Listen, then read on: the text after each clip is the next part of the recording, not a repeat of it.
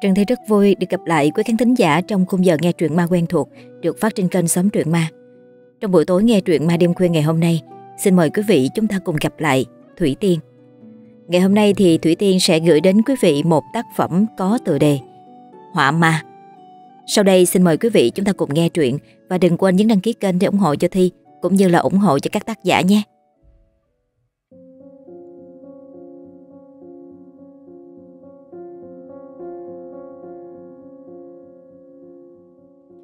Trong cái nóng oi bức của làng quê Hà Nội lúc vào hè. Khả ngồi trong căn buồng gỗ chật chội, tay cầm miếng chì đen vẽ nguệch ngoạc trên tấm giấy trắng. Mồ hôi ở hai bên thái dương anh lăn dài trên khuôn mặt hình chữ điền. Ngoài vách nhà, tiếng ve ầm ĩ rền vang. Bà Y ngồi ngoài cửa chính, mặt nhăn nhó trông ra cánh đồng lúa. Bà tỏ ra ngán ngẩm với đam mê của Khả. 20 tuổi đầu, anh vẫn chưa tìm được công việc ổn định để gánh vác đôi phần giúp U. Sinh thời ông Mảnh chồng bà vốn là phú hộ của làng này. Ông là người thương yêu vợ con và được người làng vô cùng kính trọng. Cứ ngỡ bà sẽ được cuộc sống êm ấm trong gia đình giàu có. Thì năm khả lên 10, bà Yên hay tin dữ. Đó là vào một đêm mưa gió, người làng phát hiện chồng bà chết đuối ở cái hồ lớn trong làng. Người ta cho rằng ông Mảnh đi dưới đêm dòng rồi chẳng may trượt chân, ngã xuống hồ mà chết đuối. Bà Yên cũng cho rằng điều đó là thật, bởi ông Mạnh lúc sống chẳng gây thù chuốc oán với ai bao giờ. Từ ấy, bà Yên một mình nuôi con. Vì vắng mặt chồng mà gia đình dần mất đi các mối quan hệ làm ăn lớn. Bà chỉ có thể bán hết đồ đạc đáng giá trong nhà để trả món nợ lớn do thất thu. May mắn thay còn giữ được mảnh ruộng lớn trước nhà. Những năm sau đấy, một mình bà Yên cán đáng mọi việc ngược xuôi. Khả đam mê vẽ vời, đến khi nhà cửa tan nát, anh vẫn khư khư giữ cái thói quen cắm mặt vào giấy trắng than chì. Bà Yên đang nghĩ vẫn vơ, thì tịnh bạn của Khả chạy ào vào. Người anh bóng như đổ dầu, miệng thở hổn hển, mắt mấy môi hỏi bà Yên. À, ôi, thằng Khả đâu rồi à? Bà Yên nhìn tịnh thở dài, tay phe phẩy cái quạt nang, đầu hết về phía căn nhà gỗ nằm sát vách dãy nhà chính. Nơi ấy khi xưa là bếp, nhưng phong cảnh sâu ô cửa sổ của căn nhà gỗ ấy lại cho Khả nguồn cảm hứng sáng tạo, khiến anh một hai nhất quyết, quấn chăn gối vào ngủ. Bà Yên chán nản trả lời câu hỏi của Tịnh. Ê, nó ở trong kia đi kìa, suốt ngày, vẽ với chả dời, tao đến khổ với nó. Tịnh nghe chưa dứt câu, Thì quay người chạy băng vào căn buồng gỗ nóng nực của Khả. Khả vẫn mãi mê tô vẽ. Lần này vẫn là chân dung của một cô gái không tên. Khả vẽ theo hình ảnh nảy ra Trong khối óc của mình. Đa phần các bức chân dung đều mang vẻ mặt đau buồn. Đống tranh này Khả nhiều lần mang ra ngoài rao bán, Nhưng chẳng có ma nào thèm mua. Bây giờ dân đói khổ, Cơm cháo còn chả có, Thì tranh ảnh gì? Bọn Tây trong thành đôi lúc cũng ghé xem, Nhưng đều lắc đầu. Hay tiện tay quẳng ngay tranh của Khả đi như món đồ không có giá trị. Khả hay vỗ ngực tự hào Về tài năng của mình. Nên thấy thế thì nổi khùng, Chửi bọn chúng là lũ mù nghệ thuật. Mà đúng là tranh của Khả đẹp thật, Trường nét trông rất thật, Nhưng cũng vì thật Nên nôm rất tợn. Đêm tối mẹ treo cái thứ tranh trắng đen này trong nhà thì đến tịnh cũng không đủ dũng khí để bước lại gần mà ngắm nghía. Thấy Khả đang mãi vẽ, tịnh cũng không dám làm phiền. Anh bước lại gần bạn mình, khẽ ngồi xuống cái chõng tre đặt sát vách. Khả đang mãi mê vẽ, nhưng nhận ra tịnh, cái mùi da cháy khét và tiếng thở gấp của gã không thể lẫn đi đâu được. Tay vẫn tô vẽ, mắt vẫn dính chặt vào bức tranh đen trắng. Khả phát ra tiếng nói, khiến tịnh giật mình. Mày sang đây có việc gì à? Mày muốn kiếm tiền không? Tao có việc cho mày rồi này. Khả cười khẩy. Anh cho rằng Tịnh lại rủ mình đi làm mấy việc tầm thường. Mấy ngày trước, anh cũng nghe Tịnh đi làm. Nó bảo là mối tốt, nhưng đến khi làm thì mới vỡ lẽ. Mối tốt của Tịnh là đi đào thang cho ông nhà phú hộ phát trong làng. Công việc nặng nhọc lại hít phải vô số thứ khí độc. khiến Khả ho mấy ngày chưa dứt. Khả chẳng mấy bận tâm, nhưng vẫn giọng tai nghe thằng bạn mình lại kiếm được mối tốt nào. Tịnh đứng bật dậy, nó đi sát lại gần Khả, miệng nhanh nhậu nói. Nghề này á, mày thỏa sức dễ dời. Giờ mày không chịu thì tao cũng chẳng kiếm được công việc nào dưới mày nữa đâu. Khả nghe dứt câu liền quay người lại, mắt anh sáng như sao. Nghề gì vậy? Vẽ hả? Có thật vẽ không? Vẽ thì tao làm. Nghề mà tịnh nói là nghề vẽ chân dung của người đã khuất. Nghe cũng rợn gáy, nhưng được vẽ nên Khả bất chấp đi làm. Tịnh là bạn nói khố của Khả, là con của lão phí, chuyên đóng quan tài và lo chuyện mai táng. Trước đây người dân làng này thường không có ảnh thờ người thân, nên khi nhớ cũng chẳng có gì đem ra để mà ngắm. Lão phí nhớ đến tài năng của Khả, bạn của con trai mình, nên mới bảo Tịnh sang hỏi. Dịch vụ mai táng lại có thêm cả vẽ tranh người quá cố, thì chẳng nơi nào trong cái lần cổ này có được như chỗ của lão ta. Được sự đồng ý của Khả, lão phí vui như mở hội, nhưng đợi có người chết thì không biết đến bao giờ. Từ khi Khả bắt đầu vào làm công việc vẽ ảnh người chết, thì trong làng này xảy ra nhiều vụ chết bất đắc kỳ tử, toàn là con cái của nhà giàu. Lão phí cũng kiếm được bộn tiền nhờ sự giúp ích của Khả. Tiền lương của Khả do lão phí chi trả, không được nhiều, nhưng anh vẫn vắt kiệt tài năng của mình cho công việc. Giờ bỏ dở thì anh chỉ có thể về ăn bám vào việc cày cấy của U. Và lại được vẽ mà kiếm ra tiền là điều bấy lâu nay anh mong ước. Nhưng cho đến một lần đi vẽ, lúc trời chuyển thu thì Khả gặp vô số chuyện kỳ quái. Đó là vào một đêm trăng sáng, gió lùa từ cánh đồng vào, rít mạnh từng hồi qua khe vách gỗ Khả nằm. Anh đang say giấc sau ngày dài mệt mỏi, thì bên tai chợt văng vẳng tiếng gõ cửa mạnh. Khả giật mình choàng tỉnh, giờ này bà Yên hẳn là đã ngủ say. Bà có tật ngủ là không biết trời trăng gì. Khả nhăn nhó mặt mày vì bị đánh thức giữa đêm. Anh quơ quơ chân tìm đôi guốc rồi lạch cạch tiến ra phía cửa. Khi cánh cửa được mở bung ra, cơn gió mạnh và lạnh lẽo ở ngoài đập vào mặt, khiến Khả run rẩy. Cái tiết trời thu về đêm lại lạnh lẽo, hệt như những buổi lập đông. Bóng dáng tịnh đập thẳng vào mắt Khả. Miệng nó cứ nói liến thoáng cái gì mà Khả chẳng tài nào nghe rõ. Khả đưa tay túm lấy vạt áo tịnh rồi kéo vào trong nhà. Khi tiếng then gỗ vang lên thì Khả mới nghe thấy rõ tiếng tịnh. Con gái ông phú hộ mối làng bên mới mất. Mày chuẩn bị đồ nghề đi, rồi sang vẽ cho người ta. Khả đưa mắt đỏ hoe vì thiếu ngủ nhìn bạn. Miệng ú ớ, hỏi. Sao đêm hôm lại đòi vẽ Để mai không được à? Nhìn tịnh, Hôm nay anh có vẻ hoảng sợ lắm. Khả chưa bao giờ nhìn thấy bạn hối hả như vậy. Tịnh nói rằng cô gái đó bị chết đuối, xác ngâm lâu ngày, Đâm ra hôi thối nên sáng sớm mai Đã phải đem đi chôn cất. Tịnh hẹn Khả có mặt ở làng bên Để bắt đầu công việc ngay. Nói xong tịnh kéo cửa, Bóng anh chìm dần vào đêm tối. Tịnh với lão phí Phải sang ngay bên đấy Để mang cho kịp cái quan tài Trước lễ nhập quan. Khả làm theo lời bạn dặn, Nhưng cái thân xác thiếu ngủ Khiến anh vô cùng mệt mỏi. Đôi mắt lờ đờ đỏ hoe Khiến mọi vật trong mắt đều lờ mờ Anh lão đảo lết ra bên ngoài sân Tiến đến chỗ chum nước múc một gầu nước đầy, rồi dội từ trên xuống dưới.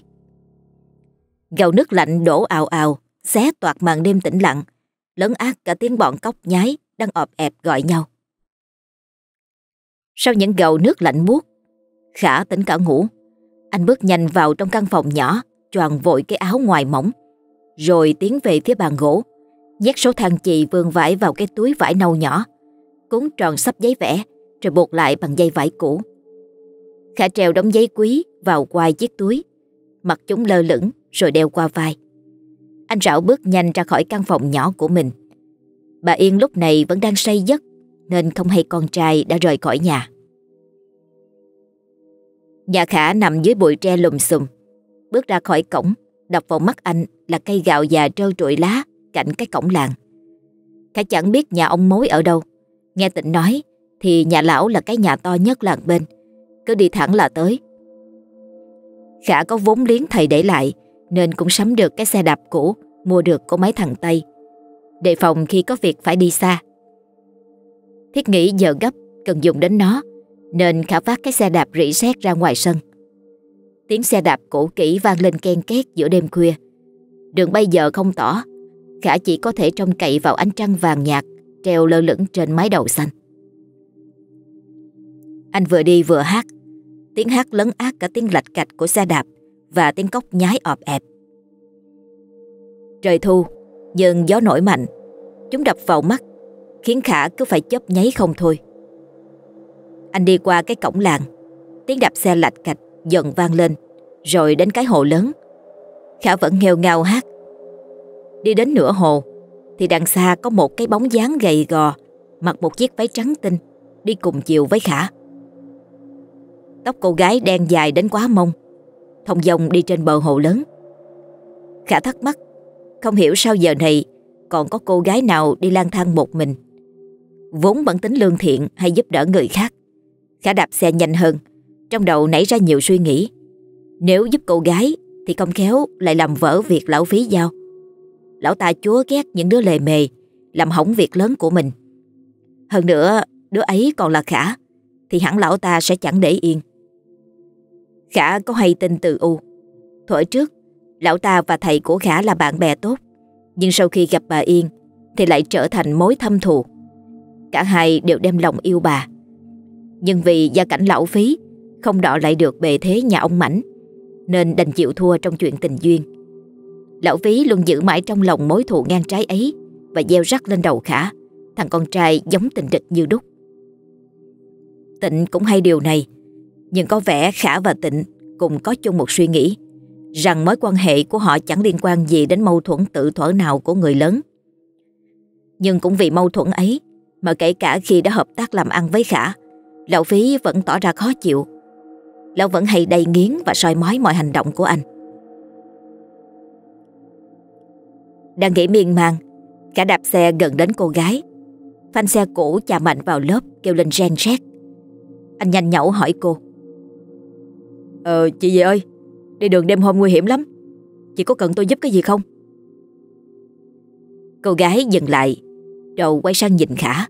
Đôi mắt tròn vo lấp lánh, khuôn mặt trắng như những trang giấy mà Khả hay vẽ.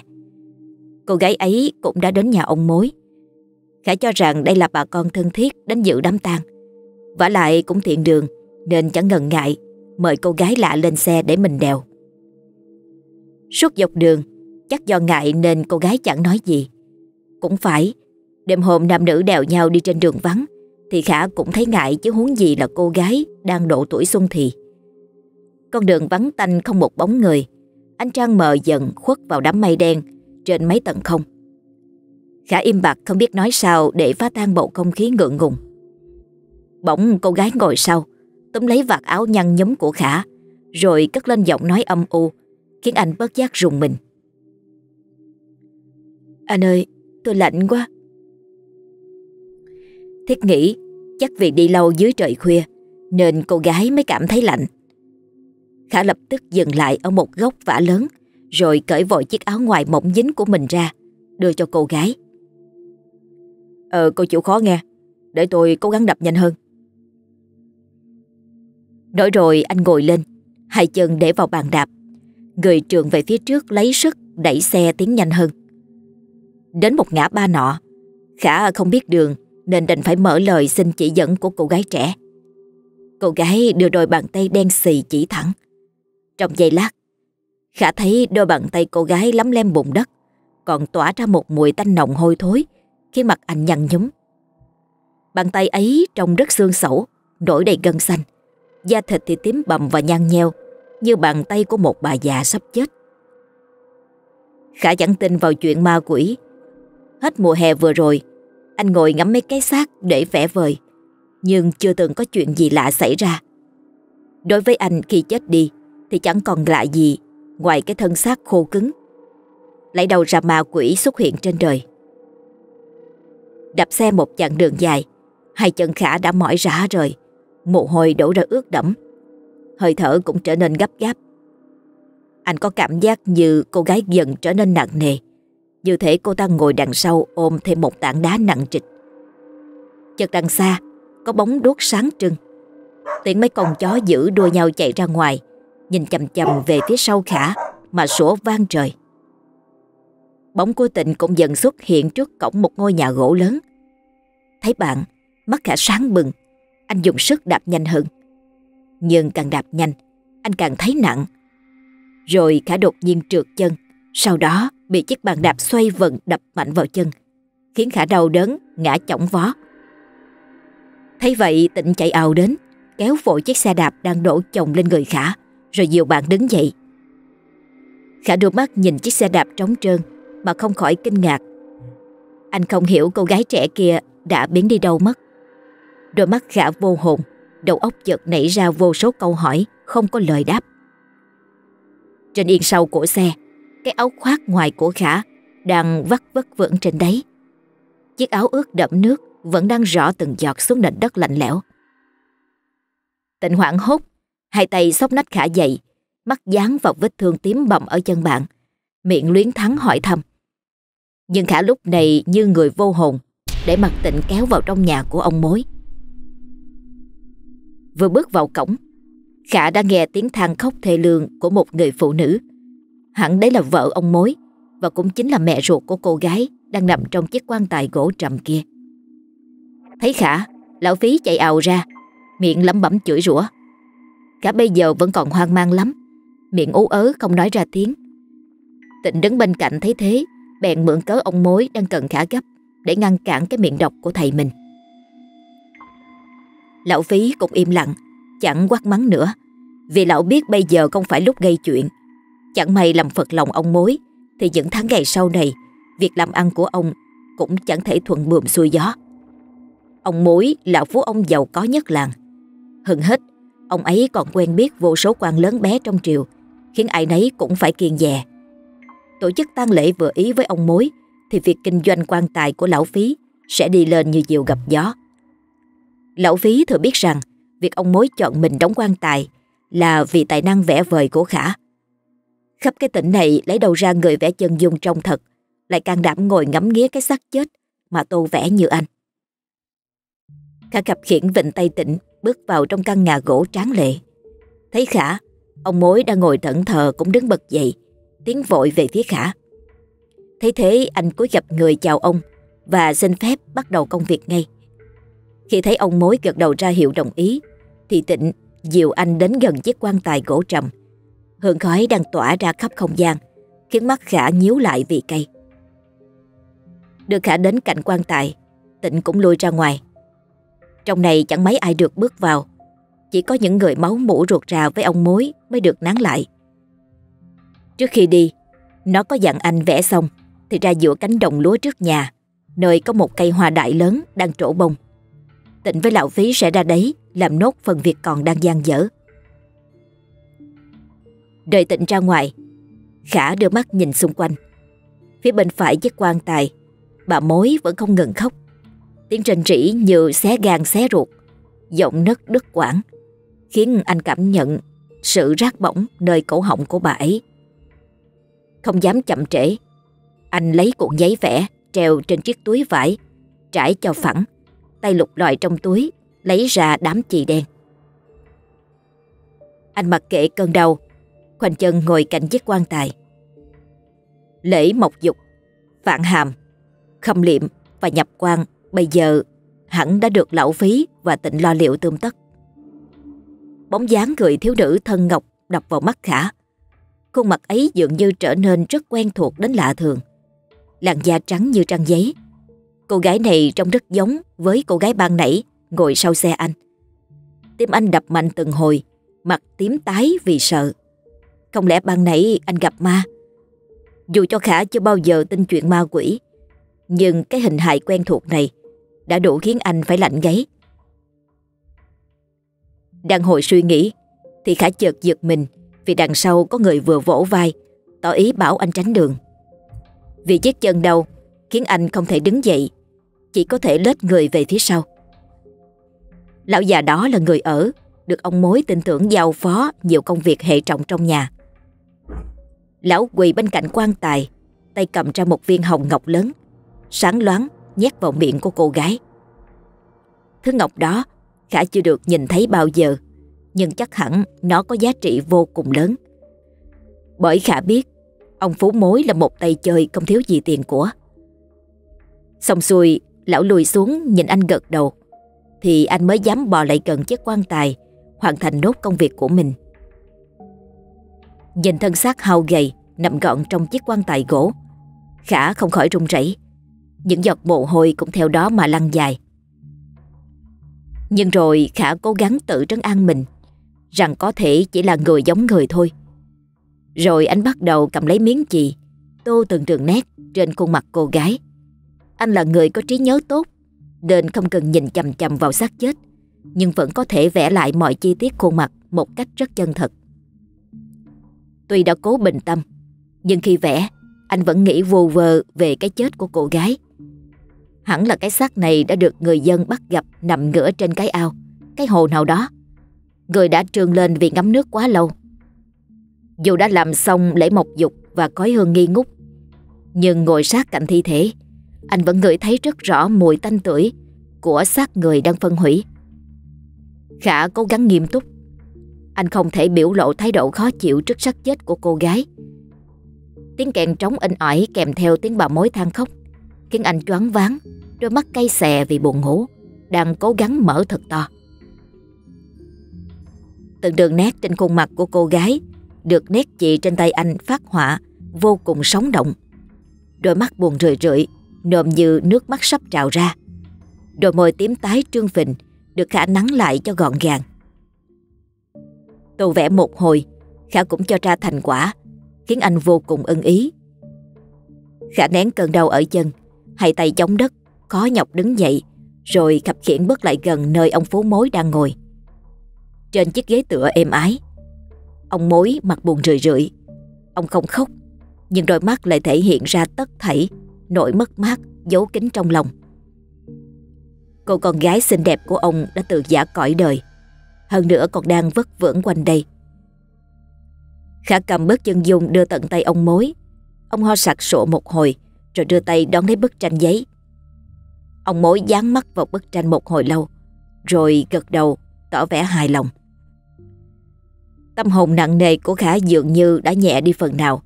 Anh cần và yêu cái công việc này, Nên không thể đánh mất nó được. Được sự đồng ý của ông mối, Khả chân thấp chân cao bước ra khỏi căn nhà gỗ. Bấy giờ là rạng sáng, nhưng cái không khí u uất trong căn nhà đồ sộ ấy vẫn chưa dứt. Tịnh và lão phí hẳn bây giờ đã ra ngoài, cuốc lấy cuốc để cái huyệt cho kịp giờ lành. Khả chưa thấy đám tang nào diễn ra nhanh như thế. Mọi công đoạn đều chuẩn bị kỹ lưỡng trong một ngày. Đầu giờ tỵ ngày mai là làm lễ hạ quan. Anh đã xong công việc của mình, vội dắt cái xe đạp cũ ra ngoài cổng. Đôi chân anh bây giờ không thể đạp được xe, anh dắt xe, cặp khiển bước từng bước nặng nề. Gió ngoài cánh đồng lúa đập vào mặt, khiến Khả nhắm nghiền mắt. Anh có cảm giác như có một bàn tay ai đó vừa vuốt qua lưng mình. Cảm giác ấy lạnh lẽo đến khó thở. Khả lấy hết can đảm, ngoảnh mặt về phía sau. Đôi mắt đảo quanh như tìm kiếm. Không gian mênh mông không một bóng người. Nguyên cánh đồng này thuộc quyền sở hữu của ông mối. Đường đến giữa cánh đồng Sao xa xôi quá Khả nghĩ không thể cứ đi bộ thế này mãi được nên nén đầu mà đạp xe đi. Sau một hồi chật vật Chiếc xe cũng bắt đầu lăn bánh. Anh có cảm giác sắp đến gần giữa cánh đồng Mặc dù dưới chân vẫn nhói lên từng hồi khó chịu.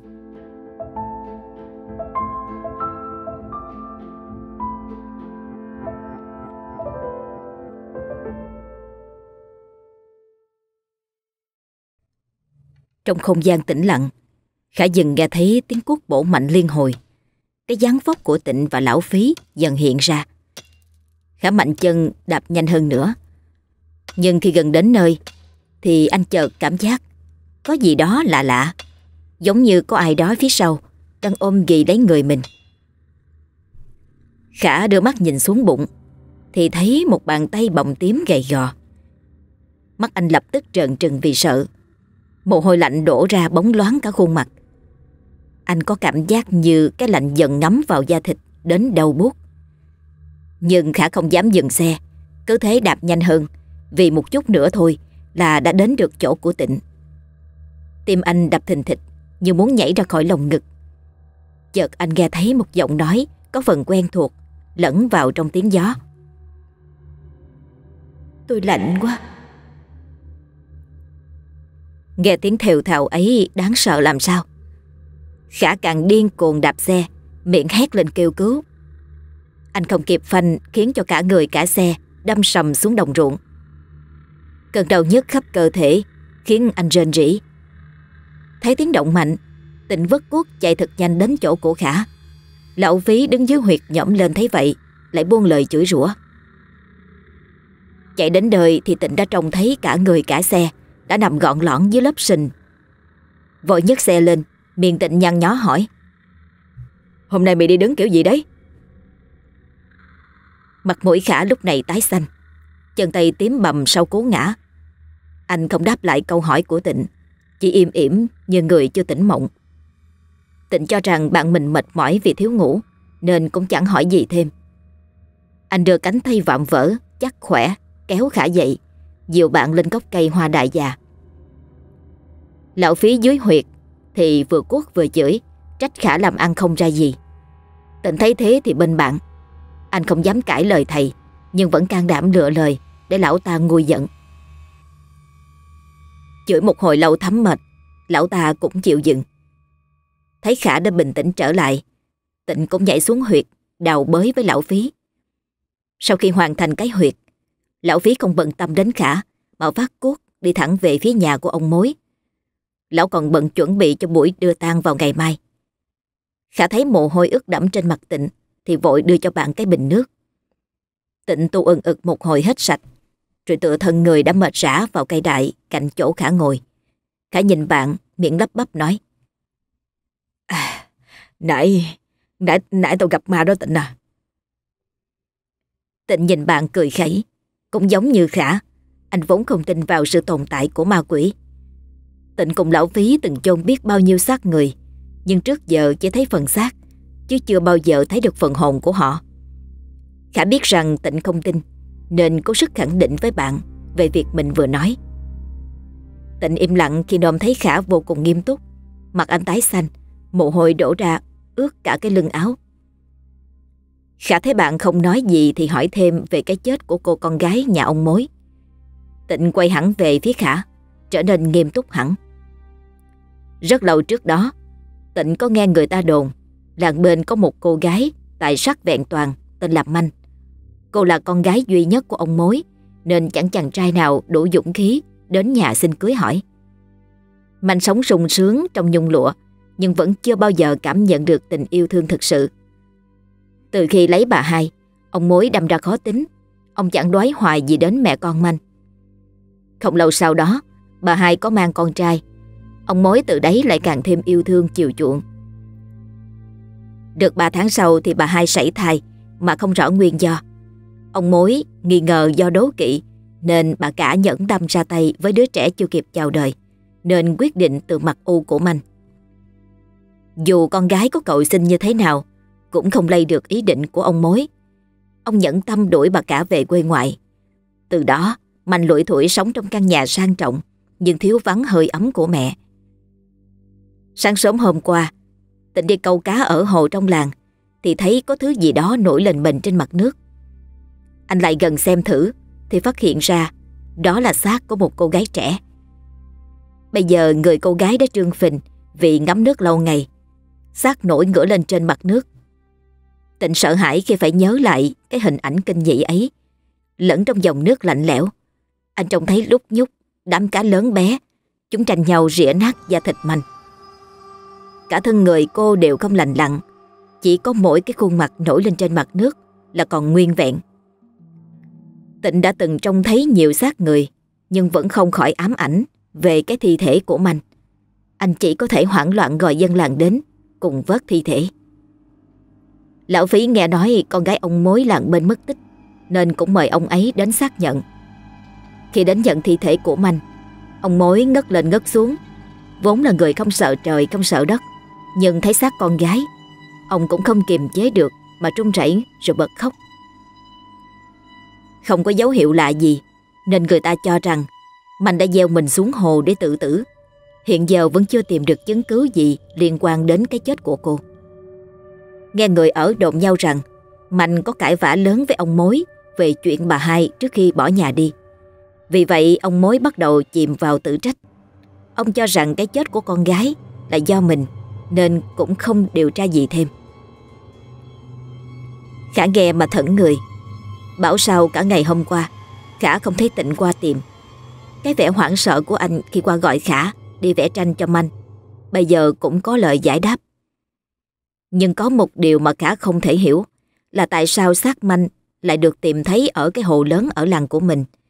Vả lại sao Manh lại hiện hồn về mà gặp Khả, Trong khi anh và cô không hề quen biết. Một lát sau, Khi đã hồi sức Tịnh đứng dậy. Bảo Khả về trước, Còn bản thân mình quay lại đám tang Để phụ lão phí một số công việc.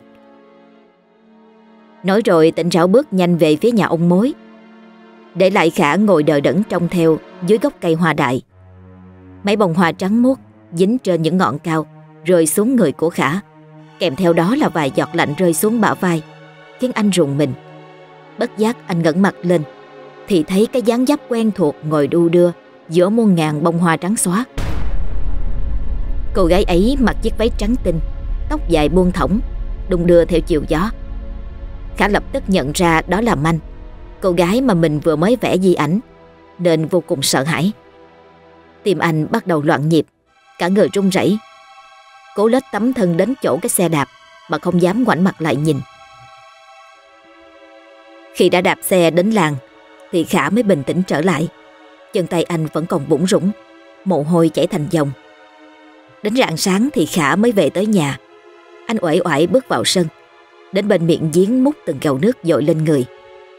Cái cảm giác mát lạnh này Khiến anh tạm vũ bỏ mọi sự mệt mỏi. Thay đồ xong là anh nằm sóng xoài Trên cái chõng tre cũ, Mắt từ từ nhắm lại, Cố quên đi những ám ảnh về manh. Đến giữa trưa khi bà Yên vào giường, Dục Khả dậy ăn cơm, Thì anh mới tỉnh giấc. Cầm nước xong, Khả ngồi vào bàn tiếp tục sáng tác. Anh miệt mài tô từng nét chị đậm nhạt Lên mặt giấy trắng. Khả vẽ không màng đến giờ giấc, Vẽ đến sẩm tối thì tịnh qua nhà. Vẫn như mọi ngày Tịnh không dám phát ra tiếng động mạnh, Trong lúc Khả đang tập trung vẽ.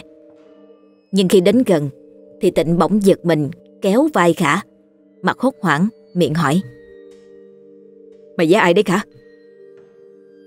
Bây giờ Khả mới sực tỉnh. Anh định buông lời trách móc bạn, Thì bỗng nhận ra Cái bức tranh mình tô vẽ cả buổi chiều Lại là chân dung của Manh. Da mặt Khả không tự chủ Mà giật giật, Đôi mắt mở trừng trừng vì hoảng sợ. Khả không hiểu vì sao Mình lại vẽ Manh, Giống như khối óc của anh chỉ còn sót lại Hình ảnh của người con gái ấy. Tịnh không nói gì thêm. Anh đặt vài đồng tiền công Mà lão phí trả cho Khả lên chiếc bàn gỗ. Hôm nay công của Khả có vẻ cao hơn thường ngày. Lão phí chắc hẳn đã nhận được món hời lớn Sau khi hoàn thành tang lễ cho con gái ông mối. Khả với Tịnh không nói thêm câu nào. Hai người dường như có chung một suy nghĩ. Nhưng chẳng ai đủ can đảm Để nói ra thành lời. Tịnh đưa tiền cho bạn xong Thì xin phép bà Yên rời đi. Khả cơm nước xong thì trở lại căn phòng nhỏ. Tay anh giơ cao bức chân dung của mình. Rồi bất giác nhận ra, Người con gái ấy thật đẹp. Cũng chẳng hiểu sao, Anh cứ có cảm giác Cái chết của Manh còn rất nhiều uẩn khúc. Dù có sợ hãi cảnh lạnh lẽo khi gặp Manh, Nhưng tư chất nghệ sĩ trong Khả Không cho phép anh hủy đi bức chân dung ấy. Đấy là thứ mà Khả cho rằng là nghệ thuật. Từ đường nét đến độ đậm nhạt của chị thang đều cho thấy đây là bức chân dung mà anh tâm đắc nhất từ trước đến giờ. Đêm ấy Khả không ngủ được, vốn là người dễ dàng chập mắt khi tựa lưng. Nhưng hôm nay lại khác, anh vùng dậy, đôi mắt đỏ ngầu đảo nhìn xung quanh. Nhờ cái ánh trăng bàn bạc dội vào qua cửa sổ, Khả tiến về phía chiếc bàn gỗ của mình, lục lọi dưới đống giấy vẽ cầm lên bức chân dung của mình, Như để tìm thêm chút ánh sáng, Khả bất giác đi về phía cung cửa sổ, gỡ tấm giấy trắng mịn để ánh trăng soi rõ từng nét gì. Khả không biết vì sao mình lại vẽ manh. Nhưng từ bức chân dung ấy, anh trông cô gái có nét buồn tuổi đến nao lòng. Anh tự hỏi liệu có phải vì thiếu vắng tình thương yêu của thầy U mà cô gái này mới tìm đến cái chết. Khải mãi mê ngắm nhìn tác phẩm của mình, đến khi rủ mũi vò ve chích khắp chân, khiến anh ngứa ngáy rồi bừng tỉnh. Khả treo bức tranh của anh lên bức tường đối diện, rồi tiếp tục ngồi ngắm nghía rất lâu. Cho đến khi đôi mắt dần không trụ nổi, thì Khả mới thiếp đi lúc nào chẳng hay. Đang trong cơn mê man, Khả bỗng cảm thấy toàn thân cứng đờ. Cái lạnh lùa qua cửa sổ ngắm vào da thịt, khiến anh choàng tỉnh. Khả theo bản năng, đưa mắt nhìn xung quanh, rồi bất chợt dừng lại ở bức chân dung của mình. Không hiểu sao bức chân dung ấy bây giờ lại cho Khả một cảm giác ớn lạnh. Rồi đột nhiên, Khả nồm thấy bóng dáng Manh đổ dài trên vách tường, hiện rõ ra một một. Cái bóng dáng ấy bước dần về phía cái chõng tre, nơi Khả đang nằm. Khả bây giờ chỉ biết mở trừng mắt sợ hãi, nhìn vào vách tường. Anh không thể động đậy, cổ họng như bị bịt kín, chỉ có thể phát ra những tiếng rên rỉ yếu ớt. Không như những lần trước, Mạnh không xuất hiện trong chiếc váy màu trắng, mà lần này cô đến tìm Khả, với hình dáng là một thứ siêu hình.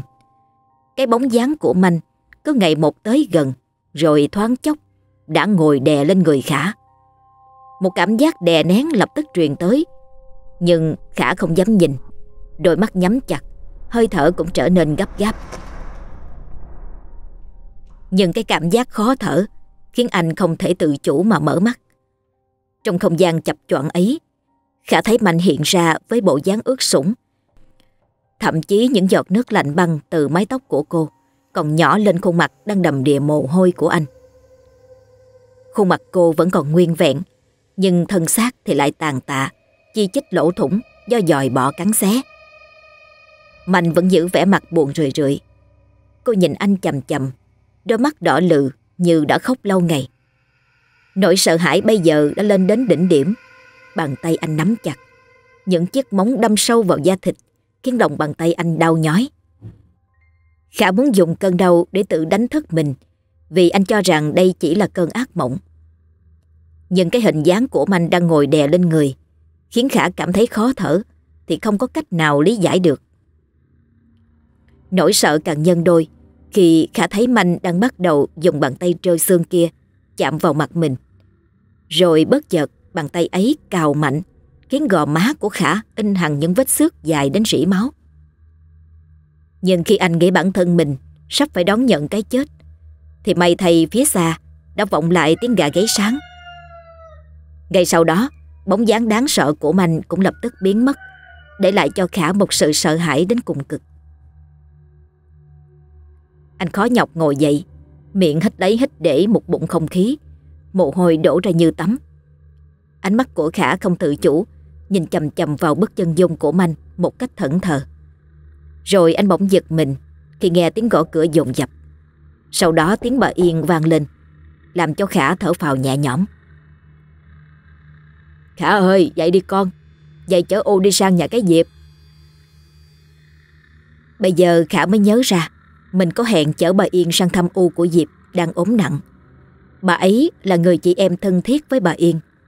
Thuở trước, hai bên gia đình đã có đính ước cho Khả và Diệp. Cả hai cũng đã gặp mặt và gật đầu nghe theo sự sắp đặt của bề trên. Diệp là con gái cả trong nhà, tính cách hiền lành, đảm đang, lại có hiếu với thầy U. Điều này làm bà Yên càng thêm thương quý. Tuy nhiên Khả vốn mãi mê vẻ vời, nên chưa lần nào chịu mang lễ vật sang hỏi cưới Diệp. Anh đồng ý Âu là để cho bà Yên vui lòng, chứ cũng chưa có ý định nghiêm túc với mối hôn sự này. Bà Yên thúc giục, Khả trấn tỉnh cố quên đi hình bóng của Manh, rồi đi ra mở cửa. Thấy con trai có vẻ mệt mỏi, bà Yên trao mày lo lắng. Con không khỏe hả? Có cần đi thầy thuốc không? Mặt mũi sao thế này? Không U à, Ờ, con gặp ác mộng thôi. U chuẩn bị đi, Con thay đồ rồi con chở U qua nhà Diệp. Thấy con trai nói năng bình thường, bà Yên mới yên tâm rời khỏi căn phòng gỗ nhỏ. Giờ bà chỉ còn mỗi khả là nơi nương tựa duy nhất. Hễ anh có mệnh hệ gì thì bà cũng chẳng thiết tha sống thêm làm gì nữa. Khả nghe tiếng bước chân u xa dần thì lết cơ thể mệt mỏi ra ngoài chum nước rửa mặt cho tỉnh táo. Xong lại thay đồ bước vội ra cửa. Bà Yên lúc này cũng đã chuẩn bị xong xuôi với hai chiếc lạng nặng trĩu đựng đầy quà cáp. Thấy Khả, bà liền đưa cho anh một phần bánh đúc. Khả chỉ cười cười rồi ngồi xòa xuống trước cửa nhà, ăn lấy ăn để, miệng không quên khen tài nấu nướng của U. Ăn xong hai con U Khả lên đường. Dù ở cùng một làng, nhưng đường đến nhà Diệp khá xa, phải đi gần một giờ đồng hồ mới tới nơi. Nhưng khi vừa đến, thì hai mẹ con đã nghe thấy tiếng khóc thất thanh của U Diệp. Bà Yên vội chạy vào trong, thì thấy U Diệp đang ngồi trên cái chõng tre mà khóc lóc thê thảm. Hỏi ra mới biết, hai ngày trước Diệp đi mua thuốc cho U, nhưng tới giờ vẫn không thấy về. Thầy Diệp cùng mấy đứa con đã đi hỏi thăm, tìm kiếm cả ngày trời, nhưng đều bật vô âm tính. Khả biết chuyện thì cũng lo lắng. Sau khi chở bà Yên về nhà nghỉ ngơi, thì tức tốc đạp xe quanh làng đi tìm Diệp. Đến sẩm tối, bà Yên cơm nước xong xuôi, vẫn chưa thấy Khả trở về. Bà đi loanh quanh trong nhà, tay vắt sau hông, đi đi lại lại. Đang hồi lo lắng, thì bà Yên nghe thấy có tiếng động ở ngoài sân. Bà vội tiến về phía cửa, thì tỏ ra thất vọng khi thấy đó là Tịnh. Tịnh không hiểu chuyện gì, mặt niềm nở bước vào, tay còn xách theo một giỏ ốc to tướng. Ờ, lúc chiều con mới bắt được ít ốc, nên mang sang biếu U. Ốc to lắm U à. Bà Yên đáp lời Tịnh bằng tiếng thở dài, hiểu rằng đã có chuyện không lành. Tịnh vội ngồi xuống cạnh bà Yên hỏi thăm sự tình. Sau khi biết chuyện, Tịnh cũng vội vã đi tìm. Phần vì lo cho bạn, phần vì Tịnh cũng có chút tình cảm với Diệp, nên không muốn cô xảy ra chuyện gì. Bây giờ Khả vẫn đạp xe khắp nơi tìm tung tích của Diệp. Bất chợt anh nhận ra mình đang đi theo cái hồ lớn, nơi mình từng gặp Manh. Trăng hôm nay tròn vành vảnh, nhô lên sau rặng tre già. Khung cảnh giống hệt như lần đầu, Khả gặp Manh. Anh sợ hãi, nhưng vẫn cố lấy hết can đảm đạp xe quanh cái hồ lớn, mắt đảo xung quanh để tìm kiếm. Chợt Khả giật mình khi thấy có gì đó giống như một cái xác người đang nổi lệnh bệnh trên mặt nước. Khả không tin vào mắt mình, nên cố bình tĩnh dần xe, rồi tiến lại gần chỗ dị vật mà không người nhìn. Càng nhìn thì Khả lại càng kinh hãi. Bởi vì quả thực, đang có một xác nữ nằm ngửa, nổi lên bệnh trong đám lục bình. Tóc người con gái ấy đã che quá nửa khuôn mặt, nên Khả không thể biết đó là ai. Nỗi sợ ập đến dồn dập, khiến Khả không thể dũng cảm đối diện thêm. Anh nhảy lên chiếc xe, đạp thật nhanh về chỗ hội làng. Vì anh biết cứ đến rằm là dân làng này lại tụ tập ở đình làng mở hội. Sau một hồi đạp xe đến bán sống bán chết, Khả dần dần nghe tiếng ồn ào náo nhiệt của hội làng. Nhưng anh không hề buông lỏng, mà thậm chí còn đạp nhanh hơn, vừa đạp vừa gào toán lên. Có, có người, có, có, có người chết đuối. Một góc hội làng náo nhiệt bỗng im lặng, nhường chỗ cho lời trình bày của Khả. Mấy người đàn ông gan dạ nghe chuyện, thì liền theo Khả chạy ra bờ hồ. Người thì mang dây thừng, người mang gậy gỗ, gạo muối để chuẩn bị cho việc vớt xác.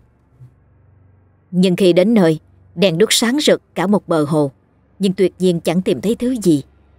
Khả hoang mang, nhưng vẫn khẳng định chắc nịch về những gì mình nhìn thấy. Đám người dần giải tán, chỉ còn lại 5 người đàn ông tin tưởng Khả nên vẫn ở lại tiếp tục tìm kiếm. Họ cho rằng có thể thi thể đã bị mắc vào rong rêu nên trong đêm tối khó xác định được vị trí. Ba người trong số đó biết bơi, cũng vội nhảy tỏm xuống hồ. Giờ ánh trăng soi xuống, họ lần mò trong đám lục bình tìm kiếm dấu vết của xác người mà Khả nói.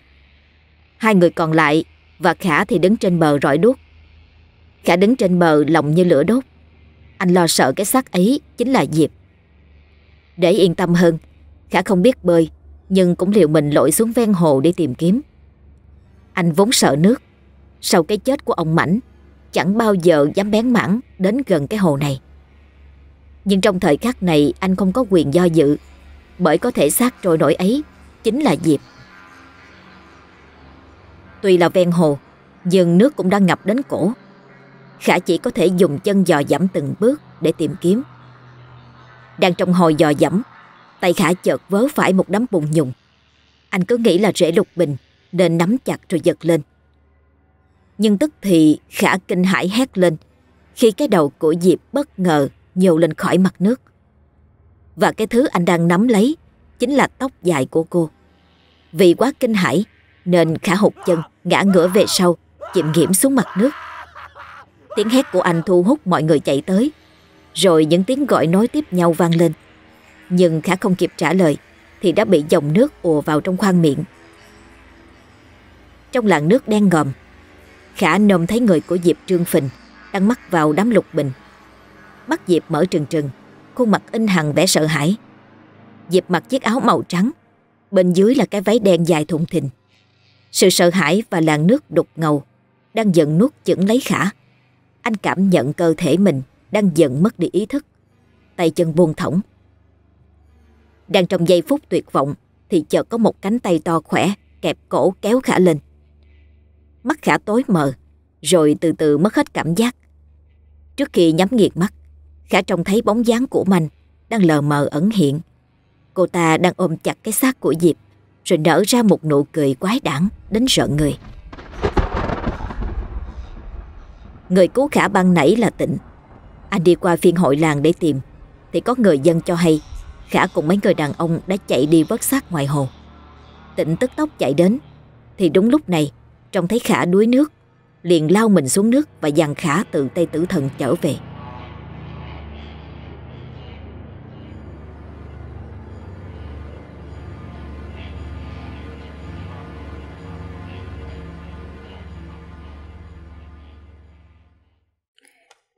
Sau một hồi lây gọi, Khả cuối cùng cũng tỉnh.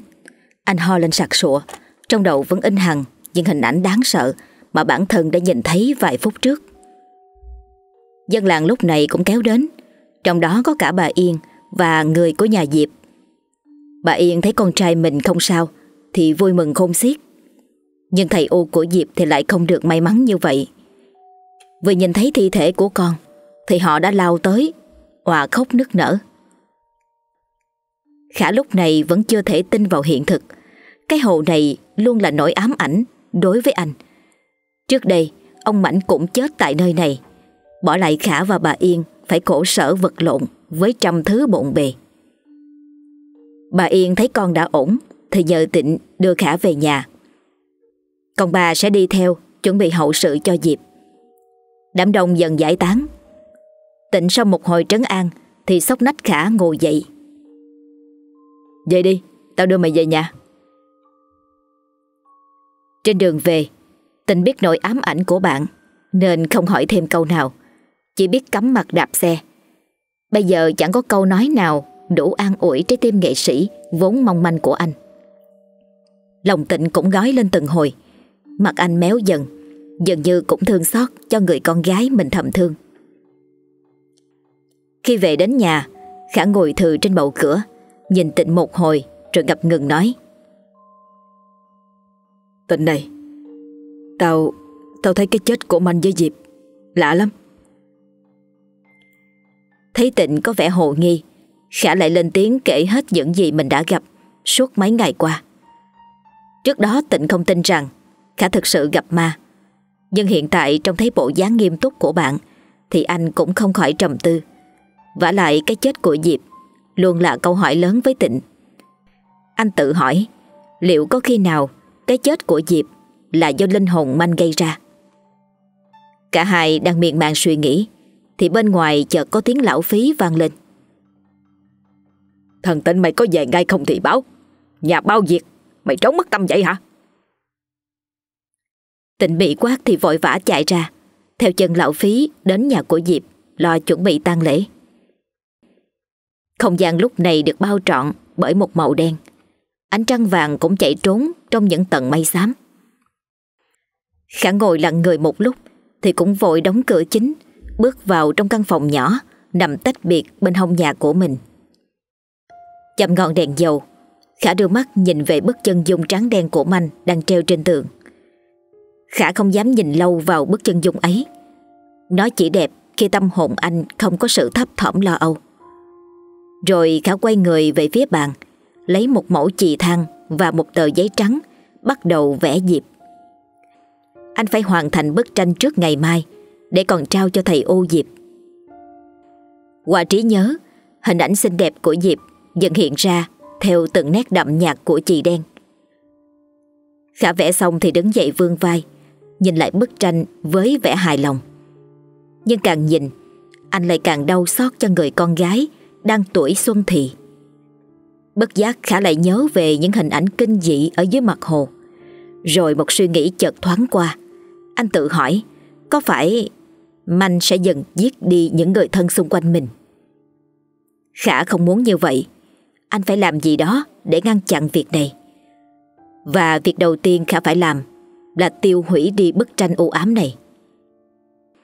Khả cầm bức tranh đưa về phía ngọn lửa đèn dầu. Nhưng lạ thay, mảnh giấy mỏng chưa kịp nhận được hơi nóng thì ngọn lửa hiu hắt đã vụt tắt. Khả đoán rằng dầu đã cạn nên mò mẫm tìm về phía nhà chính để tìm dầu châm vào. Anh men theo tường gỗ Lọ mọ mở cửa căn nhà chính Rồi bước vào Khi đã tìm được lọ dầu Khả lại vội chạy ra ngoài sân Vì dù sao trong hoàn cảnh này Bên ngoài vẫn sáng hơn rất nhiều Khả ngồi xổm, Tháo nắp đèn dầu, Rồi bắt đầu châm.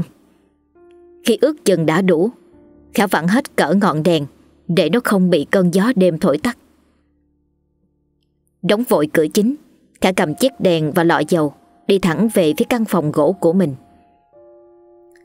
Đang đi thì Khả chợt khựng lại, Vì anh vừa nhìn thấy một bóng trắng Đang ẩn hiện ngay cạnh vách tường Mà mình treo những bức tranh. Vì mây đen đã phủ ngập trời, Che khuất ánh trăng, Nên Khả không nhìn thấy rõ Đấy là gì. Nhưng trái tim anh vẫn đập liên hồi Vì những suy nghĩ về manh, Cứ cuộn trào hiện lên trong trí óc. Ngoài trời bây giờ lách tách những hạt mưa, Khả không còn cách nào khác Đành phải cắn răng bước vào căn phòng ấy. Bước chân của Khả dần trở nên chậm rãi, Đôi mắt mở to, Hiện rõ sự lo sợ. Khi ngọn đèn dầu dần tiến vào trong căn phòng, Thì cái bóng trắng lại mờ dần rồi tắt hẳn. Khả bước tới gần bức tường Thì hoảng hồn. Anh thấy những vệt nước lạ ướt đẫm, In dấu người trên ấy. Một dáng người còn thấp bé hơn cả Khả. Những bức tranh quanh đấy Cũng bị ngấm nước mà loan chì. Khảo quên đi sự sợ hãi. Anh đốn cuốn Vội đặt cái đèn dầu lên bàn. Gỡ tất cả bức tranh đang treo xuống Rồi dùng vải khô thấm từng cái một Những bức tranh này anh quý Và gìn giữ như vàng May mắn giấy khả mua là loại tốt Chúng không bị cong vên khi thấm nước Nhưng nét chì đã thêm nhem loan màu Điều này khiến một họa sĩ yêu nghề như Khả vô cùng buồn bực. Anh cầm từng bức chân dung lên, hờ hờ trước ngọn đèn. Loay hoay suốt đêm mới hồng khô được đóng tranh ấy. Anh vươn vai cho đỡ mỏi, thì chợt nhớ mình phải hủy đi bức chân dung của mình. Cầm bức tranh trên tay, khả thở dài tiếc núi, rồi bắt đầu châm lửa. Giấy bén lửa sáng bừng, khuôn mặt buồn của Manh cũng méo mó, rồi dần bị ngọn lửa vàng nuốt trọn. Khả cầm bức tranh trên tay Thở thẫn nhìn ngọn lửa Cho đến khi cảm nhận được hơi nóng Thì mới ném bức tranh đang cháy dở ra ngoài cửa sổ ngay sau đó, Một dáng người mảnh khảnh dần hiện lên bên ngoài cửa sổ. Đôi mắt người đó đỏ lòm nhìn về phía Khả, Có vẻ giận dữ. Anh đứng trong căn phòng gỗ, Hai mắt trợn trừng kinh hãi, Rồi ngã ngồi ra sau, Khi nhận ra đó chính là Manh. Mái tóc đen dài của cô đang ướt sũng. Mùi hơi thối nồng nặc Theo cơn gió sọc thẳng vào trong phòng, Khiến anh nhăn nhó mặt mày. Điều kinh dị hơn là Manh đang dần bò trường qua ô cửa sổ, Tiến vào bên trong. Những ngón tay trương phình bụng beo do ngấm nước Cứ rửa ra Theo từng nhịp bấu víu. Khóe miệng cô mấp máy, Cất lên những âm thanh lanh lảnh, Âm u đến rợn người. Tôi lạnh quá, Nó giết tôi. Cảnh tượng ấy dường như đã vượt qua giới hạn chịu đựng của anh, Khiến mắt khả tối sầm lại. Rồi ngất liệm, chẳng còn hay biết gì nữa. Kể từ ngày hôm đó, Khả tự nhốt mình trong căn phòng nhỏ vẽ vời Và luôn tỏ ra sợ hãi Mỗi khi đêm trăng sáng. Điều này khiến bà Yên vô cùng lo lắng. Đã nhiều lần, Bà ngồi lại gặn hỏi Khả, Nhưng đều không nhận được câu trả lời. Khả luôn trong trạng thái như người mất hồn Thì thoảng lại vừa vẽ, Vừa lẩm bẩm một mình trong phòng. Những ngày này trong làng không có mấy ai chết. Việc kinh doanh của lão phí Cũng dần rơi vào khủng hoảng. Khả cũng chẳng có lý do ra ngoài.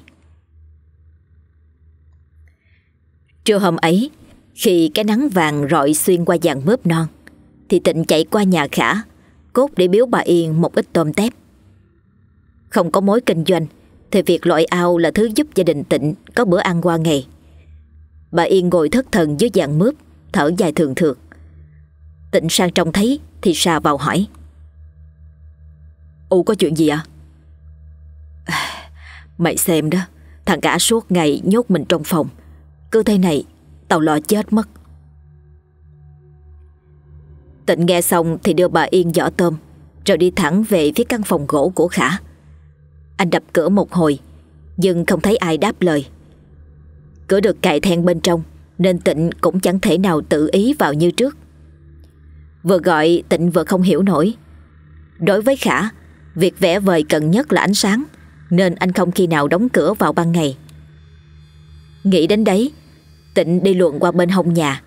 Nơi có cánh cửa sổ, Vẫn luôn được khả mở toan Từ đằng xa, Tịnh đã thấy cánh cửa gỗ bung ra. Anh thở phào nhẹ nhõm, Rồi trảo bước thật nhanh. Giữa lùm xùm cây cỏ, Tịnh nhón chân nhìn qua khung cửa sổ tìm bạn. Khả ngồi ngay cạnh cửa sổ, Tay vẫn cầm chắc mảnh chì than tô vẽ. Tịnh hoảng hồn khi thấy tranh khả vẽ Đều là chân dung của Manh. Nghĩ đến những việc kỳ lạ mà Khả gặp phải Sau khi đến nhà ông Phú Mối, Tịnh đâm ra lo lắng. Anh nhảy từ khung cửa sổ vào, Giật mạnh bức tranh Khả đang hì hục vẽ. Nhưng điều làm Tịnh ngạc nhiên Là Khả lại trở nên hung hăng lạ thường, Cứ lao vào, Nhất quyết đòi lại bức tranh cho bằng được. Nhưng sức khảo vốn yếu Không thể đọ lại với Tịnh Nên sau một hồi vật lộn Anh chỉ có thể bất lực Ngồi thở hổn hển mà thôi Bà Yên thấy tiếng ồn ào thì vội chạy tới gọi hỏi. Sau khi được tịnh mở cửa thì bà liền chạy vào, lo lắng hỏi. Có chuyện gì đấy tịnh, hai đứa cãi nhau hả? Chơi với nhau từ nhỏ nên tịnh rất hiểu tính của Khả. Chỉ cần nhìn ánh mắt lúc nãy của anh thì tịnh đã hiểu bạn mình đang gặp vấn đề gì đó khiến thần trí chẳng ổn định nên mới làm như vậy. Khẽ đưa ánh mắt nhìn Khả Tịnh bình thản trả lời. À, Không có gì đâu U Con chỉ giúp nó tỉnh ra một chút thôi.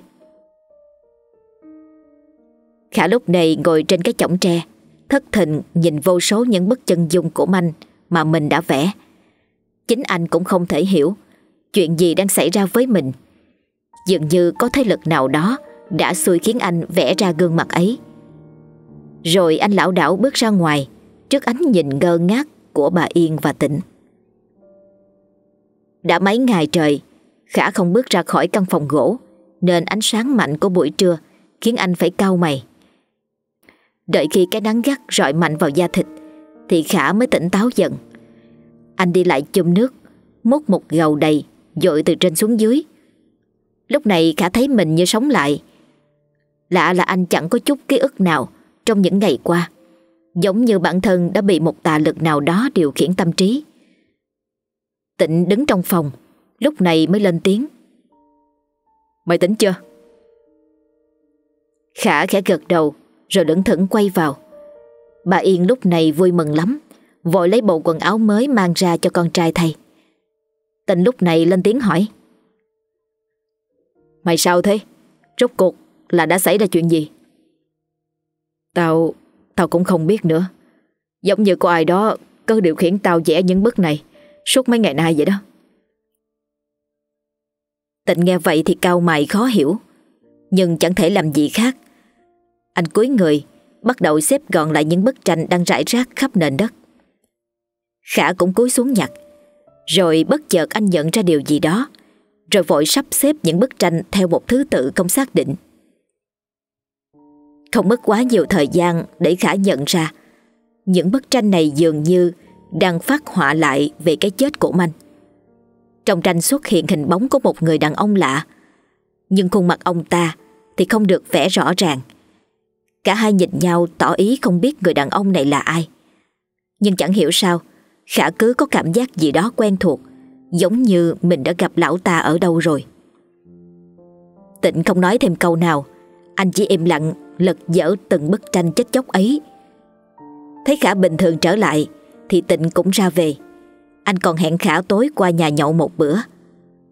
Chưa đợi Khả có cơ hội từ chối, Thì bà Yên đứng sau đã vội đồng ý. Bà biết rằng con mình đang cần ra ngoài Để thư thả đầu óc. Những sự kiện gần đây, Hắn đã gây nên những ám ảnh không dứt. Đối với con trai. Thế là tối ấy Khả sang nhà Tịnh như đã hẹn. Tịnh cũng biết mối quan hệ giữa thầy mình và bạn không tốt, Nên đã sắp xếp một bàn nhậu ở vườn sau Để hai người tránh chạm mặt. Cả hai cứ thế tuôn hết cốc rượu này Đến cốc rượu khác Mà không hề biết rằng Lão phí đang ngày một đến gần. Lão ta đang định lao ra quát mắng như thường ngày, Thì chợt khựng lại khi vô tình nghe thấy câu chuyện của Khả và Tịnh nói với nhau. Dưới ánh trăng Khả vừa uống cạn một cốc rượu Rồi thở dài. Vô tư kể cho Tịnh nghe Về lễ phạn hàm của Manh. Về viên hồng ngọc lớn Mà anh tận mắt nhìn thấy người quản gia Đã nhét vào miệng người chết. Đang trong lúc khó khăn Bất ngờ lại nghe lén được câu chuyện này khiến đầu óc lão phí nảy lên những toan tính. Nhưng lão chưa dám manh động, vì dù gì, phú hộ mối cũng là người có máu mặt. Nếu ông ấy biết được toan tính này, thì chắc chắn lão sẽ lâm nạn ngập đầu. Cố nắng lại để nghe ngóng thêm được một lúc, nhưng không thu được gì nữa, nên lão lại âm thầm rời đi, mà không ai hay biết. Phía bên này, Tịnh và Khả cũng đã ngà say. Thấy giờ cũng đã muộn Nên Khả đánh tiếng ra về Tịnh cũng vui vẻ tiễn bằng một đoạn, Rồi mới quay trở vào dọn dẹp. Về phía Khả, Anh tuy đã say, Nhưng vẫn giữ được chút ý thức mơ hồ. Đường về nhà dường như xa hơn mọi ngày. Trên cao bóng trăng hạ huyền Vẫn chiếu rọi, Hệt như cái đêm đầu tiên Khả gặp hồn ma của mình. Cái lạnh buốt từ cánh đồng lùa vào Khiến Khả bất giác cảm thấy lạnh. Cả người anh chợt tỉnh Khiến nỗi lo sợ lại vô thức ùa về. Nỗi sợ thôi thúc khả bước nhanh hơn. Đôi mắt đảo ngược xuôi như kẻ trộm. Nhưng cuối cùng Thì thứ khả sợ nhất Vẫn xuất hiện. Anh nghe thấy từ phía xa xăm Như có giọng nói vọng về. Anh ơi Tôi lạnh. Giọng nói ấy khiến khả khựng lại. Mắt mở trừng trừng nhìn theo hướng âm thanh phát ra để rồi lại một lần nữa, Khả phải sợ hãi Khi nhìn thấy bóng dáng mảnh khảnh của Manh Đang đứng sau rặng tre già. Gương mặt cô ấy vẫn vậy, Vẫn thoáng một nỗi buồn rười rượi. Tay phải còn giơ lên vẫy vẫy như mời gọi. Người khả bây giờ không tự chủ được Mà lại gần. Anh sợ hãi nhưng không thể vùng chạy Chỉ có thể để linh hồn manh dẫn dụ đến một nơi nào đó cứ thấy một người một ma cứ lặng lẽ bước đi, Trên con đường làng vắng lặng. Cho đến khi cả hai đến giữa một cánh đồng, Thì linh hồn manh Cũng đột nhiên biến mất. Khả được giải thoát khỏi sự điều khiển, Thì định bỏ chạy. Nhưng anh chợt khựng lại, Khi nghe thấy tiếng cuốc đào của ai đó vọng lại. Dù rất sợ, Nhưng Khả vẫn cảm thấy tò mò. Anh tự hỏi, Giữa đêm khuya thế này, Mà ai lại ra đồng đào bới làm gì? Và tại sao hồn ma cổ manh Lại dẫn dụ anh đến đây Rồi biến mất? Phải chàng cô ấy muốn mình tìm hiểu chuyện gì? Nghĩ vậy nên khả cắn răng đánh liều, Men theo bờ đê Mà đi về phía phát ra tiếng động. Đi được một đoạn, Khả thấy phía xa có cây đại già, Nên liền nhận ra Đây là nơi manh được chôn cất. Nhưng điều kinh hãi hơn Là dường như Có hình bóng của ai đó khá cao đang ra sức đào bới chính ngôi mộ của mình. Người đàn ông ấy trông vô cùng quen thuộc. Lão thở hổn hển vì mệt. Đời ánh trăng vàng rọi sáng, khuôn mặt nhóm bóng mồ hôi của lão hiện ra. Đó là lão phí, thầy của tịnh.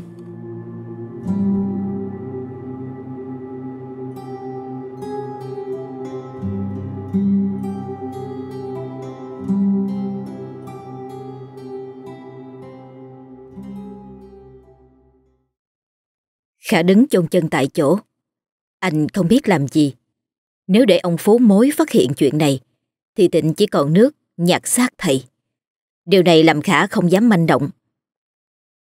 Đợi khi tiếng cốt bổ vào nắp quan tài kêu đến cọp, thì Khả mới thức tỉnh. Anh vội lao tới, tay chân luống cuốn, toàn ôm chặt lão phí từ phía sau.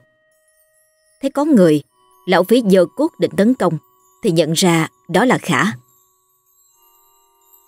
Lão thoáng chút kinh ngạc, nhìn Khả trừng trừng. Nhưng rất nhanh lão phí đã lấy lại được bình tĩnh, rồi càng giọng đe dọa.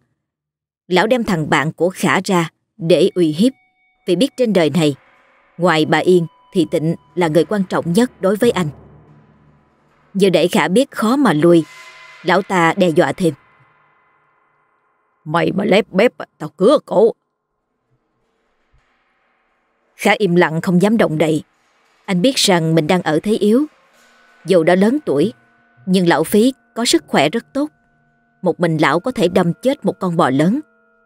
Khả trai tráng, nhưng việc suốt ngày cầm chì vẽ khiến cơ thể anh vô cùng yếu ớt. Lại thêm một tháng trời bị dày vò bởi manh, khiến anh thêm phần kiệt quệ. Nhưng lương tâm của Khả không cho phép mình trơ mắt nhìn lão phí làm ra việc tày trời ấy. Mặt Khả nhăn nhúm, vẻ lo sợ. Đôi mắt chốc chốc lại đảo quanh, Rồi nhìn xuống cái huyệt, Nơi lão phí đang đứng. Mùi hơi thối đã phả ra nồng nặc. Khả đứng trên miệng huyệt, Tay đưa lên che mũi, Mắt nhìn về phía lão phí. Như để chắc chắn hơn, Lão phí ngó đầu ra khỏi thành huyệt. Mắt đảo quanh một hồi, Không thấy có bóng dáng ai ngoài khả. Lão mới thở vào Lão cúi người, Tay nắm chặt cái nắp quan tài, Toàn cậy lên nhưng không được. Lớp đất bùn ẩm ướt đã dính chặt những khe hở. Lão không còn cách nào khác ngoài việc phá đi cái quan tài này. Khả đứng ở trên biết ý thì nhào người xuống ôm chặt lấy lão. Miệng không ngừng khuyên ngăn. Sau một hồi giằng co, lão đập mạnh cán cuốc vào đầu Khả, khiến anh lão đảo rồi ngã đổ nhào. Mắt Khả mờ dần, máu từ đầu lan xuống khắp mặt, che khuất cả tầm nhìn. Lão phí thì giận dữ Đưa đôi mắt trợn trừng nhìn Khả Rồi nghiến răng đe dọa. Mày muốn u mày mất đi đứa con cuối cùng hả? Mày mà lăng nhăng thêm Tao cho mày chết như cái thằng thầy mày luôn đấy. Khả nắm chặt nắm đấm. Anh nghĩ đến bà Yên Khiến cơn giận trong người giận nguôi đi hẳn. Trong lờ mờ bóng tối Anh lầm cầm bò lên khỏi miệng huyệt Rồi tựa mình vào gốc cây đại anh trông thấy lão phí rút ra một con dao bóng loáng, Rồi dơ cao, Bổ mạnh xuống nắp quan tài. Chỉ sau vài tiếng còm cọp Nắp quan tài đã bị phá nát. Lão lúc này mới ngồi thụp xuống, Đưa tay nhặt sạch những mảnh gỗ rơi trên mặt xác chết. Khả ngồi trên miệng huyệt, Cũng trông thấy rất rõ, Gương mặt manh dần hiện ra. Nhưng gương mặt ấy chẳng còn xinh đẹp, Mà giờ đây đã phân hủy gần hết. Bên trong lớp da thịt thối đen còn lúc nhúc dòi bọ. Nhưng cảnh tượng kinh dị ấy chẳng thể làm lão phí e dè, mà chọc thẳng tay vào trong quan tài mò mẫm. Những thớ thịt đang phân hủy cứ nhầy nhụa, khiến lão cảm thấy khó khăn. Mò mẫm một hồi mà không cậy được khoan miệng, khiến lão vô cùng tức giận. Lão chửi rủa vài câu rồi dứt khoát đạp thẳng vào mặt của cái xác. Vì da thịt đã phân hủy nặng, nên cơ hàm cũng không còn, dưới lực đạp quá mạnh của lão Khiến gương mặt của mình dường như vỡ ra làm đôi. Mùi hôi thối vì thế càng tỏa ra nồng nặc, Đến ngạt thở, Khiến cho lão khựng lại, Mặt mũi giấm gió như quả táo tàu. Lúc này lão biết rằng không thể chậm trễ hơn, Liền đưa tay thọc mạnh vào khuôn miệng Đã bị bẻ gãy của manh, Lọ mọ tìm viên hồng ngọc. Một lúc sau, tiếng cười khành khạch của lão vang lên. Khả biết rằng, viên hồng ngọc đã được lão ta lấy anh ngồi trên bờ miệng, không ngừng chửi rủa lão. Khả nói cho lão hay về hậu quả của việc này. Ông Phú mối mà phát hiện ra thì lão chỉ có nước mất đầu, không khéo còn ảnh hưởng đến tịnh. Lão phí nghe lời khả nói thì điên tiết lao lên bờ. Mục đích của lão đã đạt được và việc còn lại là phải thủ tiêu nhân chứng cuối cùng này. Lão biết nếu khả chết thì bí mật này sẽ bị chôn giấu mãi mãi. Đến lúc đó lão sẽ có thể yên tâm mà tận hưởng cuộc sống giàu sang phú quý. Khả dường như cũng cảm nhận được nguy hiểm nên vội lùi lại. Nhưng lão phí đã nhanh hơn, tóm lấy cổ anh mà dí mạnh xuống, miệng không ngừng nghiến răng chửi rủa. Mày giống hệt thằng thầy của mày, luôn thích xía vào chuyện của người khác. Nhưng hôm nay thì hết rồi, tao sẽ khiến gia đình mày tuyệt tự tuyệt tôn mãi mãi. Khả thấy cơ thể choáng váng, ra sức vùng vẫy một cách yếu ớt. Đến những phút cuối, khi không còn chịu đựng được nữa, Khả nhắm mắt lại, giả vờ đã chết, để lão phí buông tay. Như dự đoán của Khả, lão phí thấy đối thủ không còn động đậy thì buông tay ra. Chỉ đợi có thế, Khả liền chập lấy một hòn đá gần đó rồi đập mạnh vào đầu lão. Cú đập mạnh khiến lão chao đảo rồi ngã gục. Viên học ngọc lấp lánh cũng tuột khỏi tay, lăn xuống cái huyệt của mình. Khả sợ hãi làm rơi cục đá lớn, vội chạy tới chỗ phí để kiểm tra xem lão ta còn sống không. Rồi anh ta thở phào nhẹ nhõm khi phát hiện lòng ngực của lão vẫn còn phập phồng. Hẳn là chỉ bị choáng rồi ngất đi mà thôi. Khả đưa tay lau mồ hôi trên trán. Máu và mồ hôi hòa với nhau đỏ lòm khắp khuôn mặt. Sau một hồi bình tĩnh, Khả kéo lão phí đặt dựa vào gốc cây hoa đại, rồi một mình chạy về làng. Anh nghĩ mình phải báo cho tỉnh biết chuyện này trước khi mặt trời ló dạng, phòng trường hợp có người bắt gặp thì mọi chuyện sẽ không thể cứu vãn. Chạy một hơi đến nhà tịnh, Khả vừa thở gấp, vừa đập cửa gọi bạn. Tịnh bây giờ đã say giấc sau chậu nhậu bí tỉ. Nghe tiếng đập cửa thì giật mình tỉnh dậy. Nhận ra là giọng Khả. Nó nhăn nhó đi ra mở cửa. Sao thế? Mày về đi. Nhà tao hết rượu rồi mà. Trời à, mày bao theo tao đi. Thầy mày đang đào mộ nhà người ta kia kìa. Tịnh như không tin vào tay mình. Vội hỏi lại. À, mày, mày, mày nói cái gì thế? Thầy, thầy, thầy tao làm sao? Ông ấy hình như nghe lén được cuộc trò chuyện của tao với mày lúc tối Nên ra mộ của manh đào mới tìm viên ngọc rồi Mày mau theo tao ra đó Nhanh đi Tịnh nghe xong thì hốt hoảng Vội vớ lấy cái xe đạp Rồi đèo khả chạy ra cánh đồng.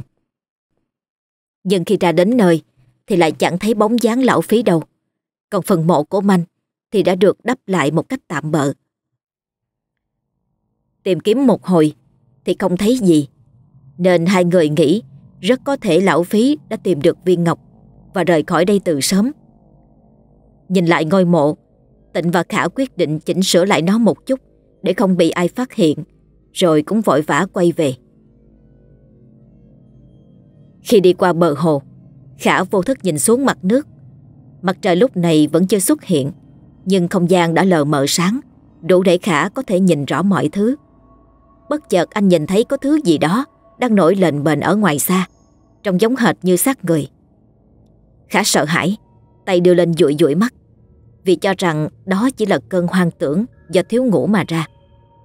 Nhưng cái thứ nổi lên bệnh ấy không biến mất, khiến anh lắp bắp.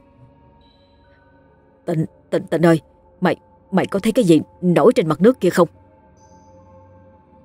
Tịnh nghe thấy lời khả thì dừng xe, đưa mắt nhìn về phía cái hồ lớn. Xung quanh vắng lặng, chỉ có tiếng gió rít từng hồi.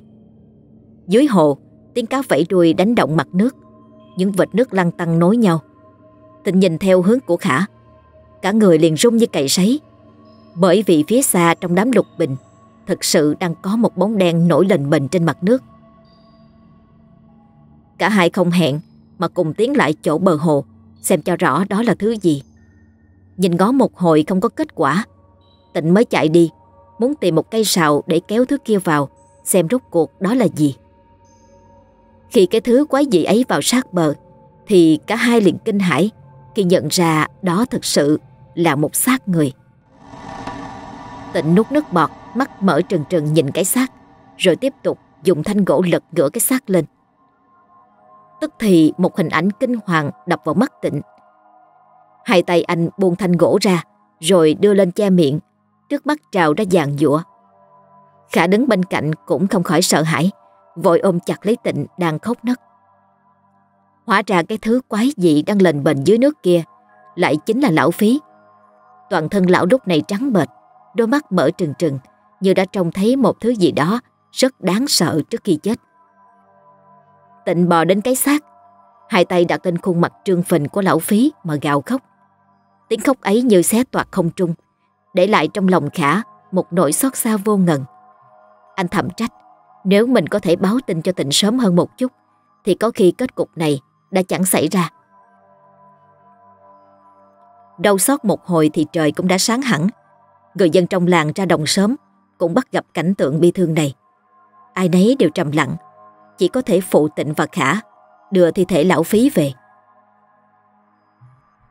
Được sự giúp đỡ của hàng xóm và ô con khả, tịnh cuối cùng cũng lo xong lễ nhập quan. Bây giờ tịnh mới có thời gian nghỉ ngơi. Anh ngồi tựa vào cột nhà, hàng xóm qua lại phúng viếng ồn ào. Mùi hương khói cây xè khiến nước mắt tịnh không tự chủ mà lăn dài, không sao ngưng lại được. Khả thương bạn, dối vào tay tịnh nắm xôi nếp bà yên đồ để cúng còn dư. Nhưng tịnh bây giờ chẳng thiết ăn uống, anh cảm thấy tự trách vì không kịp đến cản thầy mình. Tối ấy trời mưa tầm tã, hàng xóm cũng ra về, chỉ còn lại bà Yên đang phe phẩy quạt cho hai đứa em tịnh đang ngủ say trong buồn. Khả ngồi cạnh quan tài lão phí, nhìn cái thân người mệt mỏi của tịnh. Cơn giằng xé trong lòng anh, kể lại toàn bộ sự việc trong đêm hôm ấy, rằng có lẽ do mình đã đập quá mạnh, khiến lão phí loạn choạng mà ngã xuống hồ. Tịnh không đáp lời, nhưng anh biết rằng cái chết của lão phí chẳng liên quan gì đến Khả. Rồi tịnh chìa tay, đưa ra trước mặt Khả viên hồng ngọc sáng bóng. Hóa ra, khi làm lễ mộc dục cho lão phí, tịnh đã vô tình tìm thấy viên ngọc được nhét sâu trong miệng lão đến nghẹt thở. Sau đó tịnh thở dài nhìn Khả và đem câu chuyện về tội ác mà thầy mình đã làm cho Khả nghe. Do không có đủ khả năng lo cho hai đứa nhỏ đi học, lại thêm việc kinh doanh của gia đình đi vào ngõ cục. Vì làng này chẳng mấy ai tự dưng mà chết. Lão phí từ đó đâm ra tàn ác, lấy việc giết người để thu mối làm ăn. Tịnh cũng không biết điều này, cho đến sau lễ tang của Diệp. Đó là vào một đêm mưa bão. Lão nhậu nhẹt say xỉn về nhà. Người ướt sũng rồi đắm nhẩm với tịnh những điều đáng sợ. Lần sau tao sẽ chỉ giết con nhà giàu. Nhà con Diệp trả phí chẳng đủ công tao Diệp nó xuống nước nữa. Nghe xong thì tịnh toát mồ hôi lạnh. Anh không tin những gì mà mình vừa nghe được. Do mặt cảm tội lỗi, nên cả tháng trời Tịnh không dám sang nhà gặp mặt Khả. Sau hôm đó, đã nhiều lần Tịnh chất vấn, nhưng lão phí vẫn không chịu thú nhận tội ác của mình. Cho đến khi thấy Khả mặt mũi đầy máu, thì anh mới chắc chắn rằng việc thầy mình giết người là thật. Cái thú tính đã chiếm đoạt lấy tâm thức của lão phí. Lão ta làm, nhưng mặc cảm tội lỗi thì tịnh vẫn phải gánh chịu. Anh ngồi dập đầu trước Khả, vừa khóc vừa xin lỗi vì hành động đáng sợ mà thầy mình đã làm ra. Khả nếu tay tịnh để ngưng lại hành động ấy. Tội lỗi ấy là do lão phí gây ra và lão ta đã phải trả giá bằng cái chết. Khả ngồi đờ đẫn ngẫm nghĩ hẳn rằng cái chết của Manh và Diệp đều do lão phí gây nên. Vậy còn cái chết của ông Mảnh, thầy của Khả thì do đâu mà thành? Nhưng quay sang nhìn tịnh đang đau khổ, lòng Khả lại dấy lên những thương cảm. Anh tiếc thầy cho bạn mình vì sinh ra làm con của một kẻ độc ác.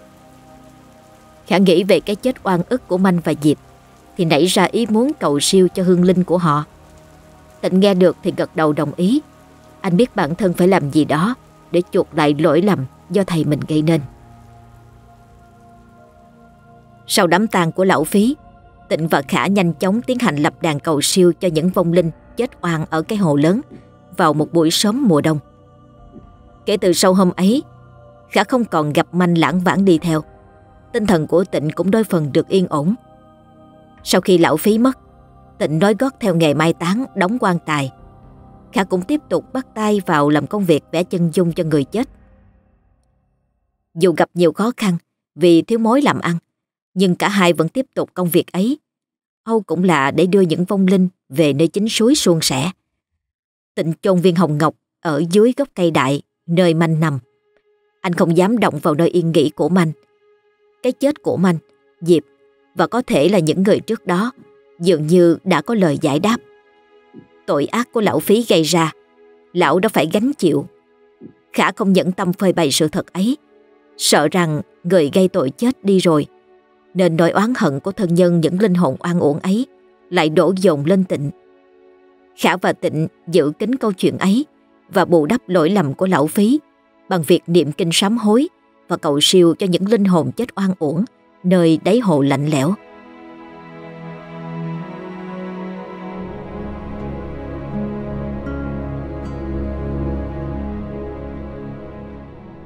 Quý thính giả vừa nghe xong tập truyện ngắn Họa Ma của tác giả Thủy Tiên. Cảm ơn quý vị đã theo dõi câu chuyện tối ngày hôm nay. Đến đây Trần Thi xin nói lời chào tạm biệt. Chúc quý vị có một buổi tối an lành. Hẹn gặp lại ở những câu chuyện tiếp theo.